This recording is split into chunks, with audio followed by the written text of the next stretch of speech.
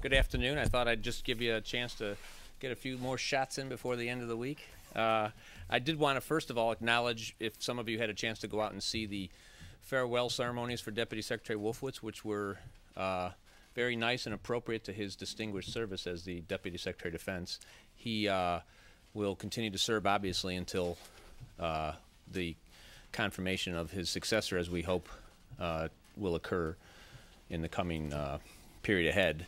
Uh, but it was a very nice ceremony and a very fitting tribute to him as well, but also to the uh, U.S. forces that he uh, recognized quite uh, generously in his speech. Uh, I'd also like to, if I may, just acknowledge that there's a uh, joint statement that the State Department has re has released or will soon be releasing with respect to the investigation in Iraq on the the joint U.S.-Italian investigation. There's a statement from the State Department. Uh, I want to draw your attention to it. I, am not going to have anything to add to that statement, uh, but I wanted you to be aware of it. And with that, I'd be happy to take a few questions. Jimmy. Well, can we start with uh, North Korea? North uh, Korea.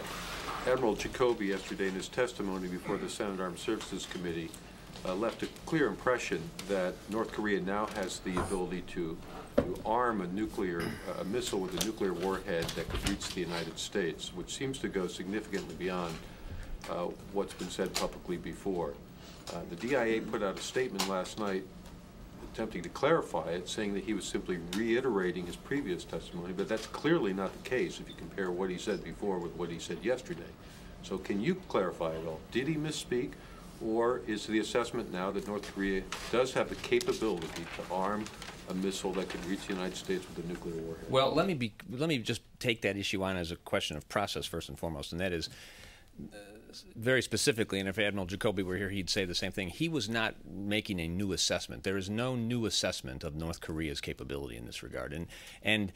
Whether the words were exactly the same, the assessment uh, based on testimony he gave in the Senate in March was this is the same assessment as the assessment he was discussing in the Senate yesterday. So in terms of the actual assessment, there's no new assessment, uh, and and in fact he was speaking about uh, a theoretical capability to uh, to uh, um, uh, combine missile types and a, and a, and a warhead such that you could have a, a theoretical ability to reach the United States uh, as he described. But again, the, the, I do want to emphasize he was not offering a new assessment. So he that is the same as he's as the DIA anyway has concluded for a while.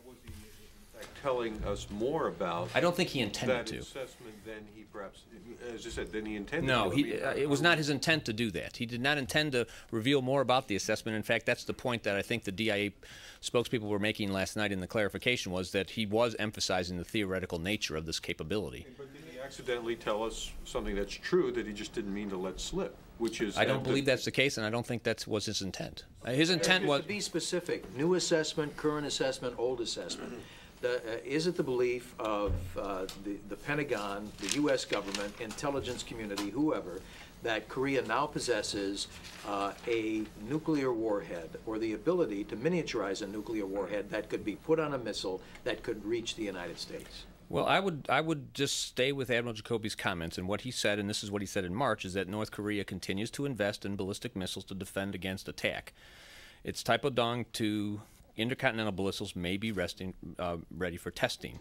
This missile could deliver a nuclear warhead to parts of the United States in a two-stage variant and target all of North America.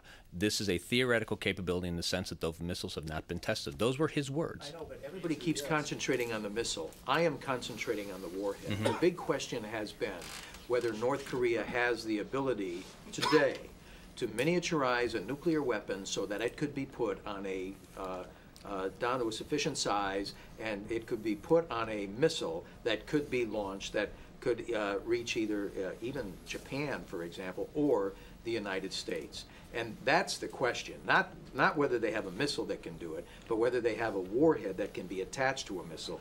I, I don't believe we know that, and I don't believe that that's part of the assessment. I think uh, in the case of North Korea, we've heard comments that North Korean leaders have made.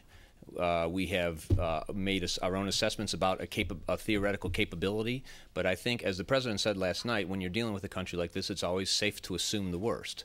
And, and so part of our understanding of this is based on assumptions, as the president described, worst case assumptions. But I think the assessment is what it is, and it's I would emphasize the theoretical nature of the assessment. Uh, Not to belabor the point, but Uh-huh. isn't, isn't the assuming the worst, in fact, a new position? Because all along, uh, the estimates were that uh, North Korea would not be capable of doing this until about 2015, is what we understand. So if now we're assuming that they can do it today as the worst, isn't that in fact a new assessment on their capability? It, it, there's no new assessment, Jim, and I don't know how, how else to put it. And, and I know that uh, it's it's very tempting to parse words that, that officials make in public, and, and it's understandable that you would do so. But they're at a hearing. He gets asked a question. He gets asked a follow-on question. He does his best to keep things at a level that he's knowledgeable in, and and he it certainly was not his intent to offer anything like a new assessment. It was it was what it was, and and let me just emphasize though that uh, intelligence is a very difficult challenge for us in a society like North Korea, where it's closed, where they do a lot of their work underground, and so you, you one makes the best assessments, but we, we know that there's an awful lot that we don't know, and, and it's prudent to to uh, measure those assessments carefully and to balance how you talk about them because there's a lot we don't know. It's fine for you to say that we should just, that the assessment is what it is and we should go with Admiral Jacoby's words, but his words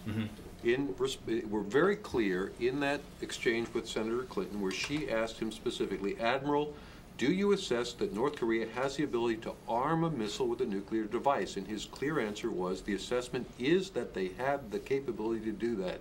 Yes, ma'am.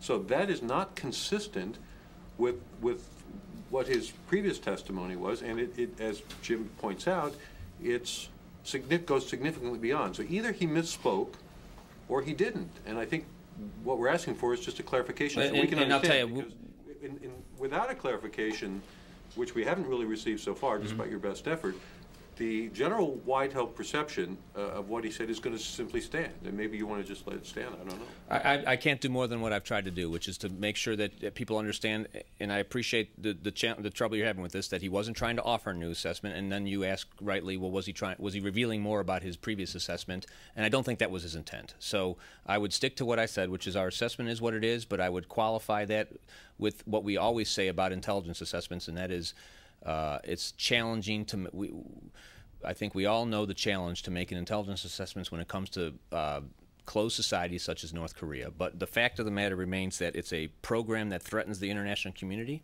Uh, it's a it's a it threatens the integrity of the global nuclear nonproliferation regime, uh, and it's something that we're that the United States is working closely with other countries on a multilateral basis to address. Uh, and we'll always do our best to understand the assessments and to describe the assessments, but the fact is that what they have and what we've acknowledged that we think they have is a threat to the international community, and the president's dealing with it. Now, are, are members of Congress, because there was an implication in today's New York Times story about this, quoting some staff members from up on the Hill, uh, that they are getting information beyond what General Jacob, I mean Admiral Jacoby said in public, that certainly appears to lead these staff members to believe that North Korea's program in terms of miniaturizing a warhead is far beyond what we've been told in public.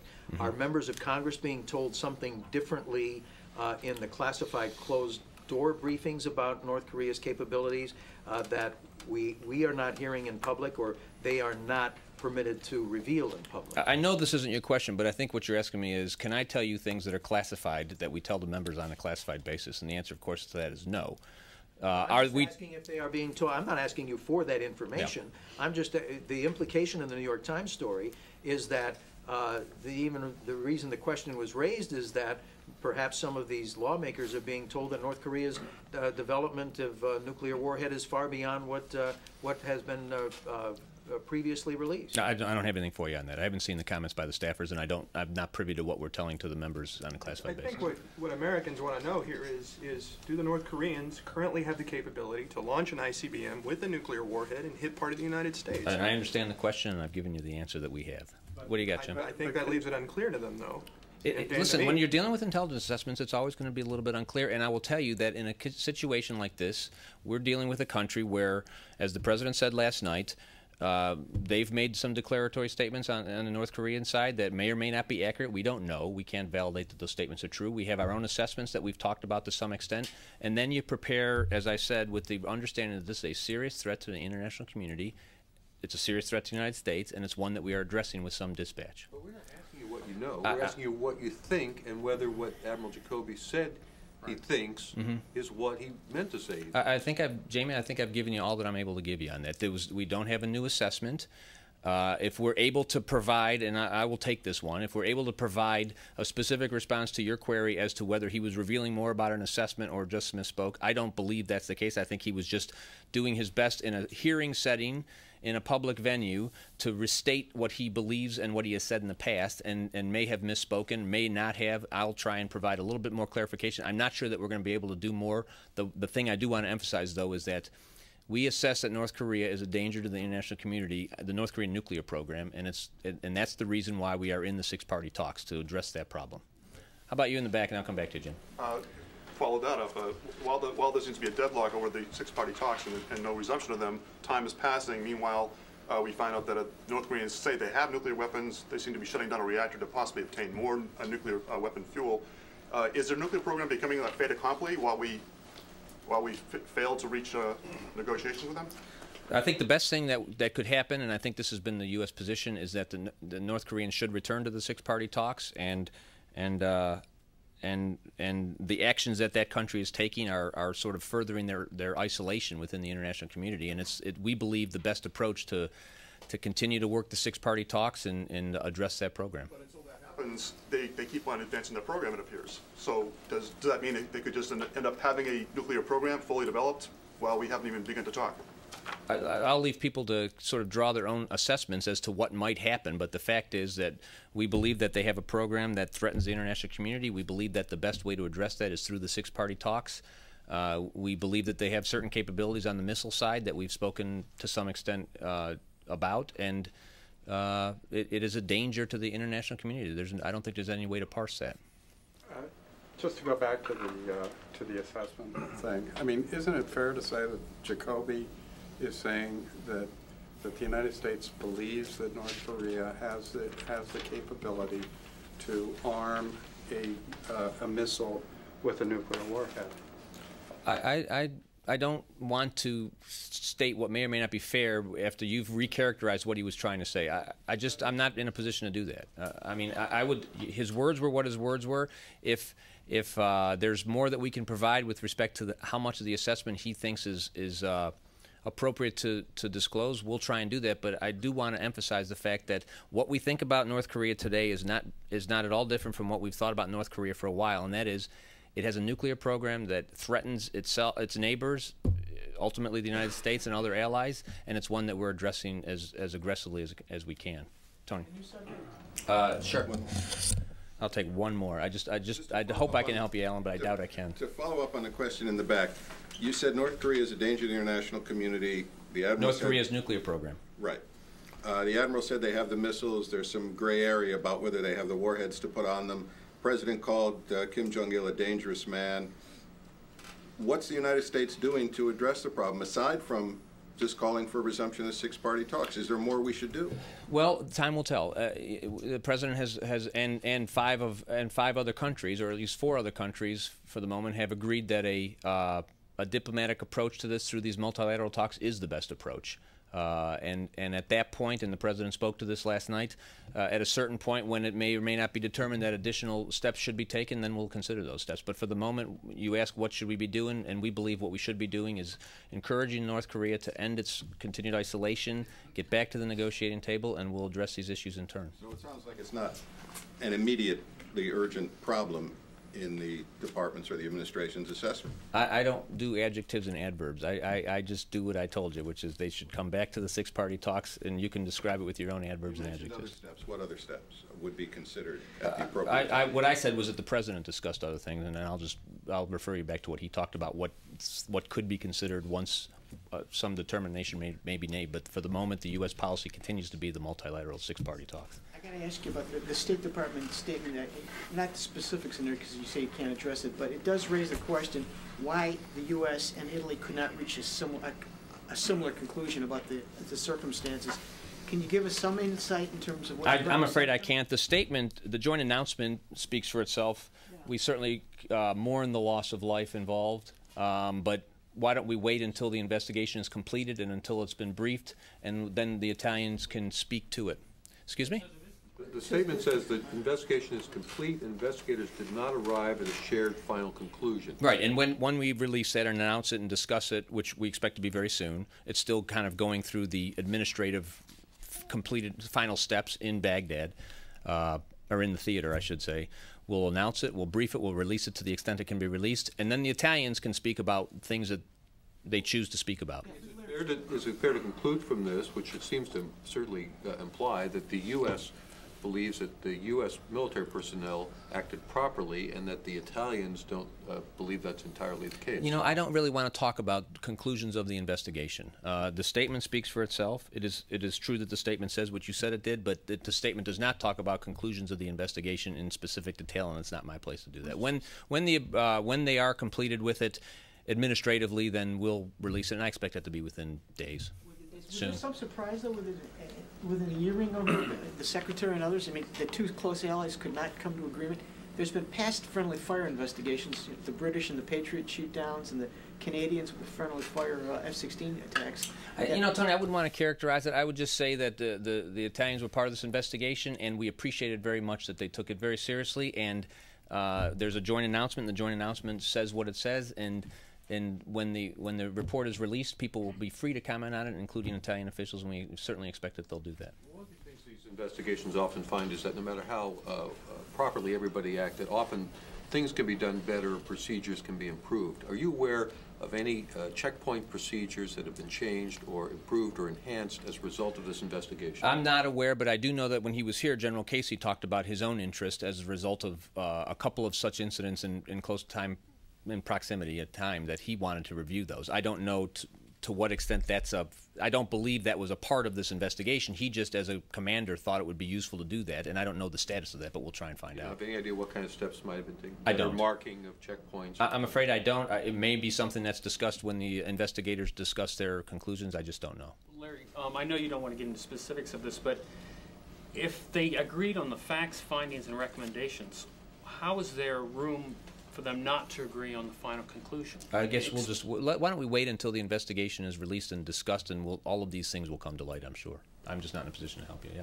This is only the most dramatic of the number of checkpoint shootings that we've heard about. Are there statistics kept by the Pentagon on the number of these incidents? And Not by the Pentagon. It's possible, I suppose, that they're kept in theater, and if they're if they are kept and there's something that we could share some insight into, I'd be happy to try if we could if we could take a look at that. I I'm, I don't know that we keep any. Uh, the, General Casey, as I mentioned, and thank you, Brian, suggested that he wanted to review this situation when he came down and spoke to y'all a month or so ago. But I don't know what data might be available, and, and if there were data available, whether we could release it. Have you heard anything from the Italians about their continued participation in the coalition based on this, since this? You know, I don't want. I, I let's just wait until the investigation has come out, and then the Italian government. Our policy tries to be that we let coalition partners speak for themselves, and I'm not going to. I'm not going to deviate from that approach at this point. Is there any evidence that the Italians paid a ransom to secure the release of? uh, I have, I have nothing for you on that, Jim.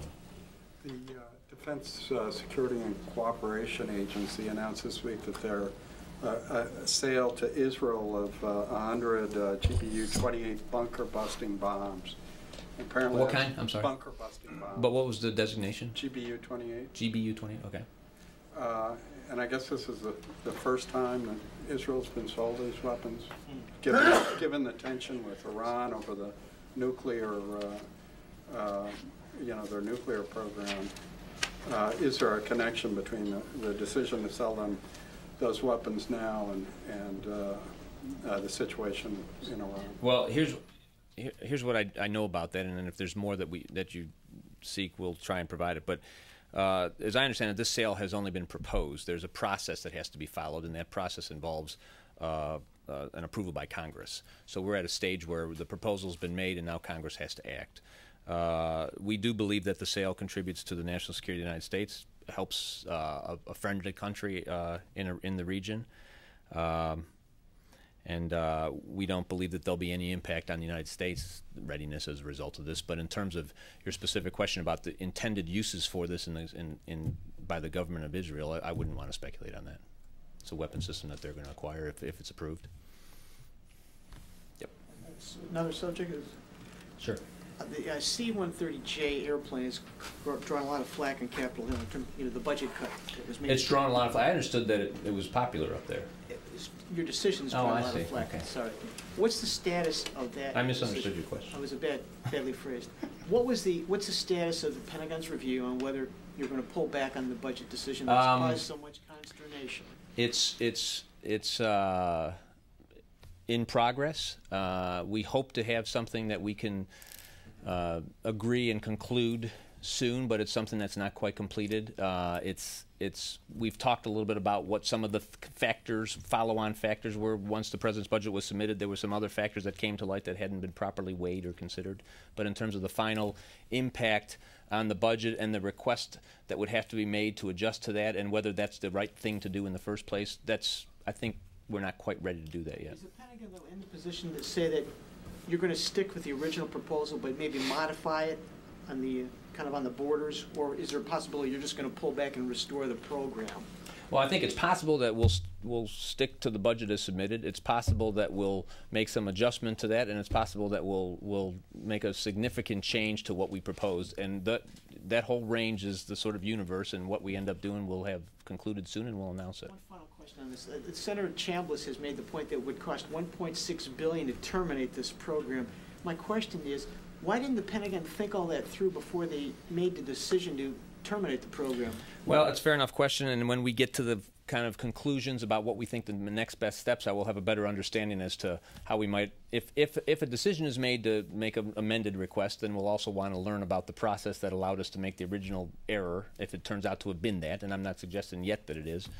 Uh, and we'll deal with it. Uh, I think termination costs was one of the factors uh, that, after the fact, uh, became something that needed to be reevaluated. But how that happened and why, we'll, we'll, we'll understand better and hope to avoid those kinds of things in the future if that's what the conclusion was. Sure. I wanted to ask you about this, this longstanding policy that we don't characterize what our relationship is with other nations in the, in the coalition.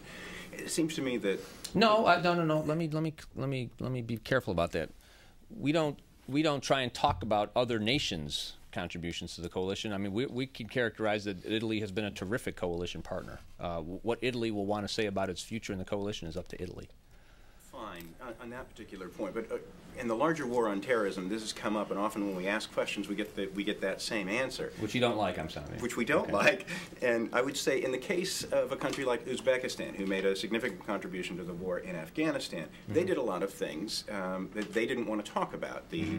Uzbek people didn't know about it, but the American people who were paying for the troops who were there, who were paying for the planes that went there, also were not entitled to that information. And I'm just asking, why is it that we're not characterizing what U.S. troops are doing on, with U.S. tax dollars in other countries? Um, I think that there's oversight of all of U.S., uh, at least Department of Defense programs, at the appropriate level. The, when we conduct activities in other countries that involve the use of taxpayer funds, there is proper oversight through elected representatives of the very people that you are concerned about. Um, and, but you know, we're in a different kind of war. We're in a war where, from the very beginning, we talked about how we're going to be doing things that people will know and understand and see, and we'll be doing things that will be much less well known and understood because of the nature of the adversary that we face. Uh, so it, it uh, I suppose, would be much more meaningful to, to people in your profession, and I and I mean this also in all seriousness. If we could just publish long lists of what we're doing around the world, and it would be a lot more yeah, it would be a lot easier for you to report on what we're doing. But uh, we we respect the oversight we get. We are faithful to the oversight that we get. We know that the free press is an important part of, in some measure, oversight by the public. But as a matter of fact, the nature of the conflict that we're in is gonna is gonna dictate the, what I said, which is some things we're going to be doing that are very public, and other things we're going to be doing will not be. And and we'll all just kind of work at that as best we can. I think that's. Are we training, are U.S. forces training uh, Pakistani forces right now? I have nothing for you on that at the moment. Larry, uh, I asked this question before and I didn't get a, a good answer, so I wonder as the Pentagon spokesman, if you might take a crack at it. And that is. you didn't ask it of me. No, I didn't. Because No, it sounds like you give me a second chance I'm here, which I always try, uh, I'm gonna try you and see how it goes. Okay, I'm gonna write it Um, down.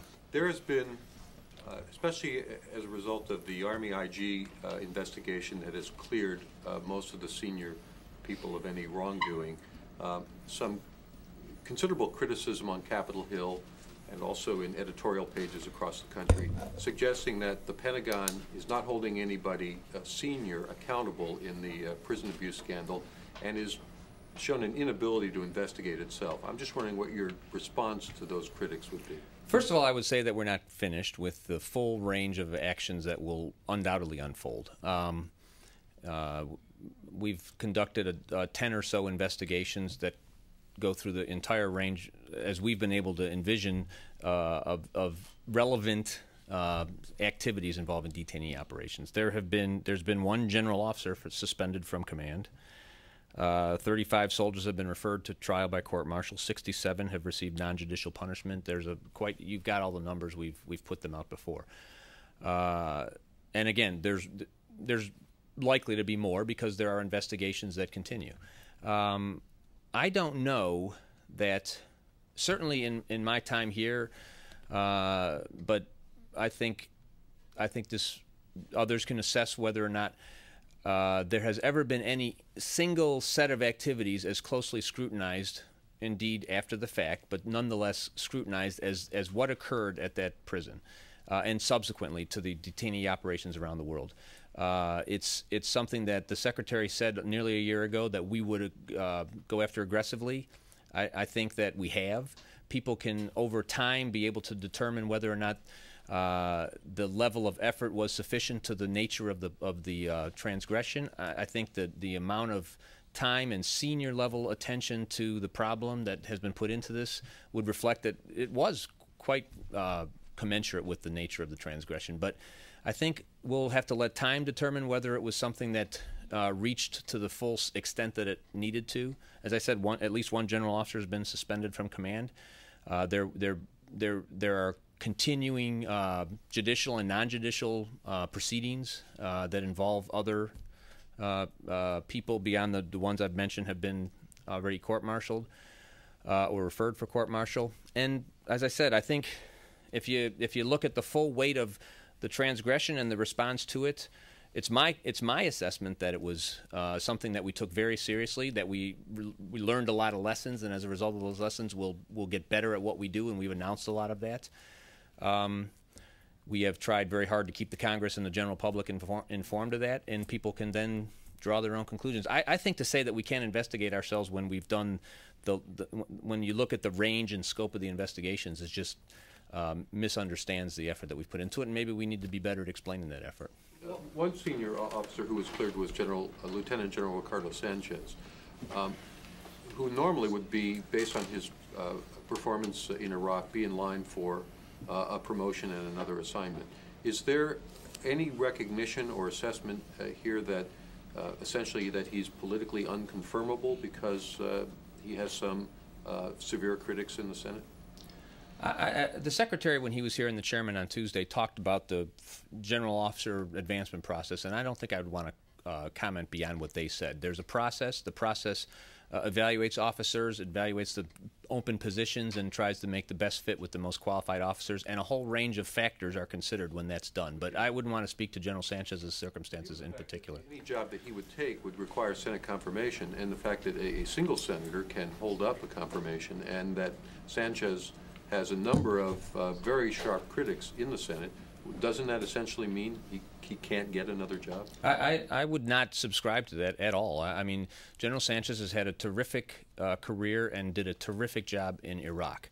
Uh, there hasn't been a single investigation that has singled him out for personal culpability, and indeed, he was found not to have any personal culpability. Uh, that having been said, there's a process by which senior officers are advanced in this department, and and a lot of factors are taken into account when that happens. And it's premature to discuss. He happens to be the Fifth Corps commander, uh, and he's going to be that until he's something else, and we'll just leave it at that. Yeah, One John. of the reasons, Larry, that um, people draw the conclusion that there was some kind of systematic uh, problem that requires accountability at a higher level is that after all these things have happened, you've had the armies change and, and further restrict their tactics uh, for interrogations in a new manual. You have General Casey further restricting the rules uh, for the region on interrogation. And, and that seems that raises a question among a lot of people as to whether or not um, whether those previous guidelines were clear enough or whether they were just wrong and went too far. Well, certainly we know some people went too far, but they went. A lot of the people who have already been held accountable weren't responsible for interrogations. So it's.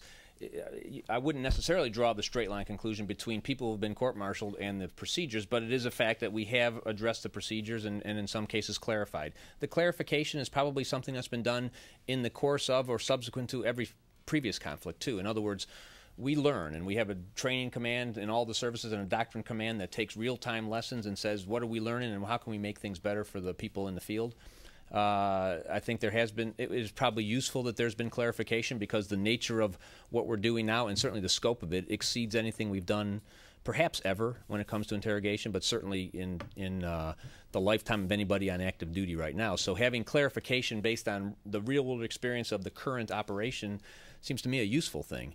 And and remember, we're we're in a very very different conflict, and and I think we're learning across the board that doctrine that existed before this conflict began is in need of significant clarification, if not outright replacement with new doctrine. So, you know, we're learning lessons, and, and I'm not sure that because, you know, you, you enter into a conflict having trained and equipped for a, for a different conflict, because that's the nature of preparing for war, uh, that that there's necessarily culpability or personal accountability that, that attaches to deciding that the doctrine you went into the war with needs to change. I think that's a different problem. It's a problem. And General Abizaid, when he testified, said our interrogation procedures are broken. In other words, we need to get this doctrine right because it doesn't fit the world we're in. So that's what we're trying to do. Quick, uh, um, We'll finish up here shortly. But oh, Eric, and I'll come back to you. In specific, Jamie asked specifically about holding senior leadership accountable, and you said we're not finished. Is there something else in the works? I said, in the context of general accountability, we're not finished, uh, and we'll deter- and we'll see. We know that there are recommendations that came out of um, investigations that we've already released or discussed uh, with respect to individuals, and the the process that follows after these general investigations, such as Kern and Fay Jones, for example, uh, is one in which there's more direct investigation of specific findings, and that process takes time. Part of that, what just occurred with the Department of the Army Inspector General with respect to these general officers, was the result of having compiled a lot of recommendations from the previous reports. There are other individuals involved, and, and out of respect to those individuals, we'll let that process follow. And, and people can then, at the end of it, determine that.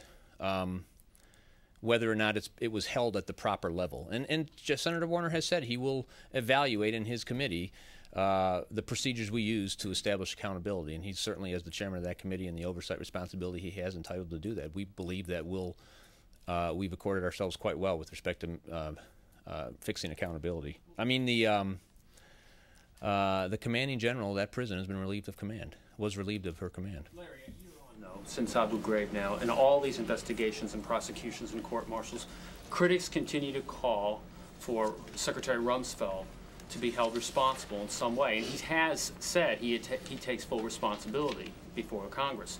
What, in your view, or the Secretary's view, um, what is your view on that? I mean, wh why do you think people continue to call for him to be held responsible if there's all, all of what you say going on? To answer these um, questions? I suppose there's there's people that will always feel that more can be done. I, I will remind people, and the secretary's spoken about this publicly. There's no reason to not repeat that he offered to resign over the matter. The president didn't accept that offer, and then subsequent to that, there was an election, and the American people had the full weight of everything that happened in the last four years and decided to rehire the president for this job. Uh, that's not bad uh, when it comes to whether or not somebody at the very top uh, was accountable. That is not. That was not you know, that's not the the full scope of all the activity that we're doing, but it's not bad.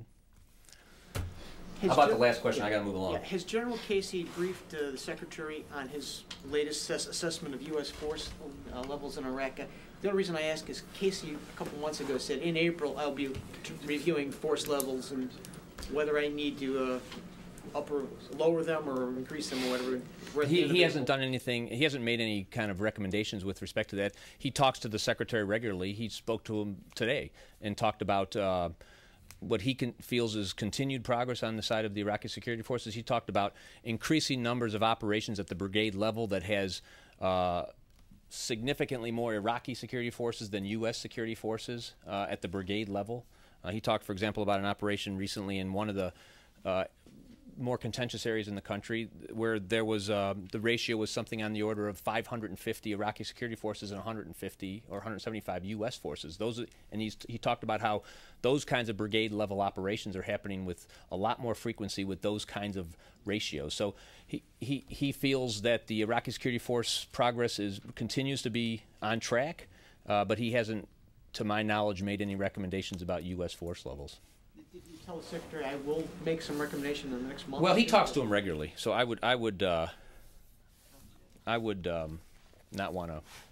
I mean, it, it, it's not like, you know, he. T- I think talks to him probably two or three times a week. So, and I've just been handed a note, so I'm going to make sure that I'm careful about one thing.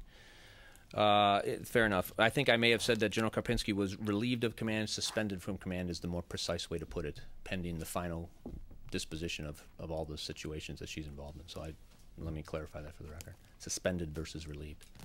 Any other questions? Thank you. I hope you have a great weekend. Really, we don't have time for any more questions. We're busy with a lot of stuff. to do. I know you'd like to stay and ask, answer questions all day, Is it something I said? but we really, Did you just could go. say, did you just say through the elections that the American people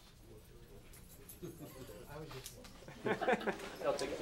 Oh, okay, all right. Let me put it this way. It was Wasn't not my a new intent. assessment.